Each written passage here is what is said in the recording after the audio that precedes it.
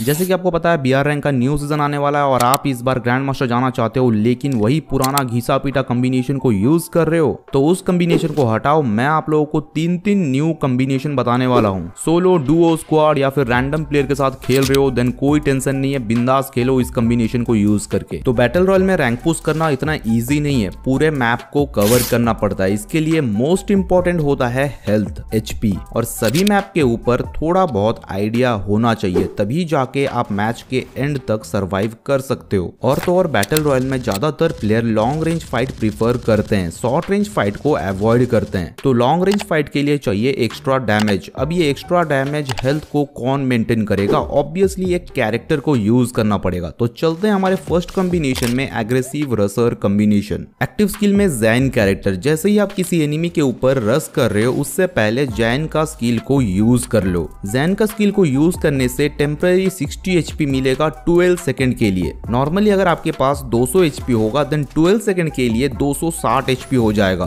तो फाइट के वक्त आपके पास एचपी का एडवांटेज होगा, जहाँ एनिमी के पास 200 एचपी होगा, आपके पास 260 एचपी होगा। और तो और जैन कैरेक्टर के पास एक और स्किल है हीलिंग इफ़ेक्ट को एनहांस करती है 75 परसेंट तक। मतलब अगर आप कोई भी हीलिंग कैरेक्टर या मेडिकेट को यूज़ करते हो देन 75 परसेंट एक्स्ट्रा एचपी मिलेगा। देन पैसिव स्किल स्लॉट में number one Luna character rate of fire fire increase करती है। किसी भी गन को यूज़ करो 8 percent rate of fire increase होगा। और रेट ऑफ़ फायर इंक्रीज होगा मतलब ड्रैग हेडशॉट तगड़ा लगेगा। और लूना कैरेक्टर थोड़ा बहुत मूवमेंट स्पीड भी इंक्रीज करती है। देन नेक्स्ट स्लॉट में लियोन कैरेक्टर एचपी रिकवर करता है। अगर एनिमी डैमेज दे रहा है और आप कुछ एचपी से बच जाते हो सर्वाइव कर जाते हो then Leon up to 60 HP recover करेगा। देन लास्ट पैसिव स्लॉट में जोसेफ कैरेक्टर इसे अगर अपने कॉम्बिनेशन में यूज़ करते हो then Moco Siru ओथो Avon two four Hummer Raiden Iris Rafael इन सब का एबिलिटी बर्बाद हो जाएगा। अगर एनिमी राइडन का मकड़ी छोड़ेगा देन वो जोसेफ को देख के भाग जाता है। सेम केस हुमर एंड एवन टू फोर का भी है। हुमर का ड्रोन जोसेफ के सामने काम नहीं करेगा और एवन टू फोर का इलेक्ट्रोमैग्नेटिक वेव को भी यूजलेस कर देता है जोसेफ कैरेक्टर क्योंकि जोसेफ स्लो डाउन करने वाला कैरेक्टर का स्किल को ब्लॉक करता है और मार्किंग कैरेक्टर का स्किल को भी ब्लॉक करता है और स्किल साइलेंट करने वाला कैरेक्टर का स्किल को भी ब्लॉक करता है। तो अगर कोई एनिमी लोकेशन पता करने के लिए मोको सीरू को यूज़ कर रहा है देन वो कुछ काम का नहीं है। और जोसेफ का एक और एबिलिटी है ten percent movement speed boost करता है पाँच सेकंड के लिए। तो इतना सारा एडवांटेज है एक कैरेक्टर के अंदर तो ऑब्वियसली कुछ ना कुछ डिसएडवांटेज तो सियोर होगा।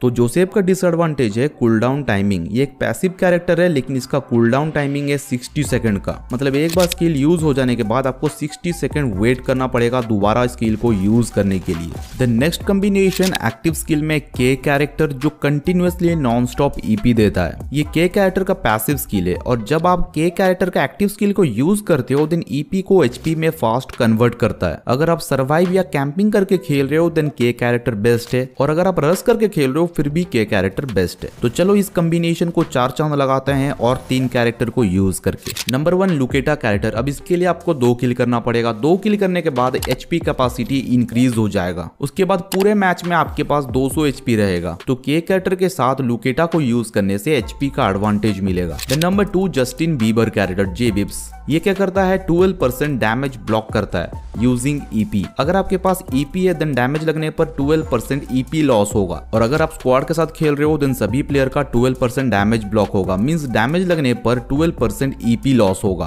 और ये जो आपका टीममेट का 12 परसेंट ईपी लॉस होगा, वो आपको मिल जाएगा। इसका मतलब है ईपी भी मिलेगा और डैमेज भी ब्लॉक होगा। Then last number three Misa character अब इतना बड़ा मैप है, कितना भागोगे? इसके लिए मीसा को यूज़ करो। Ten percent driving speed increase करती है और जब आप गाड़ी चला रहे हो एनिमी का टारगेट इतना जल्दी लॉक नहीं होगा। मीन्स एनिमी का डिफ़ॉल्ट एम काम नहीं करेगा। इनकेस अगर डैमेज लग भी जाता है देन 20 परसेंट कम डैमेज लगेगा। तो इस कॉम्बो को यूज़ करके आप सर्वाइव प्लस रस दोनों कर सकते हो। एंड फुल मैप में बहुत सारे प्लेयर स्नाइपर यूज़ करते हैं या हाई डैमेज वेपन यूज़ करते हैं। उनके लिए कॉम्बिनेशन है एक्टिव स्किल में आइरिस कैरेक्टर अगर आप एनिमी को डैमेज दे रहे हो, लेकिन एनिमी वॉल लगा देता है देन आइरिस का स्किल को यूज़ करके डैमेज देने पर एनिमी के ऊपर टैग शो करेगा पंद्रह सेकंड तक। और तो और आइरिस ग्लूअल पेनिट्रेट करती है। आप किसी भी गन से ग्लूअल के आर पार एनिमी को डैमेज दे सकते हो। एज यूजल डैमेज थोड़ा कम लगेगा, लेकिन लगेगा ज़रूर। द नेक्स्ट पैसिव स्लॉट में Rafael character sniper and marksman rifle को साइलेंट करता है। और नॉक होने के बाद 85% फास्ट ब्लीडिंग होता है और एनिमी जल्दी से एलिमिनेट हो जाएगा। एंड सेकंड पैसिव स्लॉट में सीरू कैरेक्टर बहुत बार पता नहीं चलता है एनिमी कहाँ से मार रहा है, कहाँ से डैमेज दे रहा है। लेकिन अब पता चल जाएगा सीरू कैरेक्टर कैरेक्टर को यूज़ करने से। जो भी एनिमी डैमेज देता है, तुरंत उसके ऊपर मार्किंग शो करेगा। उसके बाद उसका क्या करना है, वो तुम जानते हो भाई, मैं नहीं जानता हूँ। मैं तो भाई दौड़ा दौड़ा के मारता हूँ।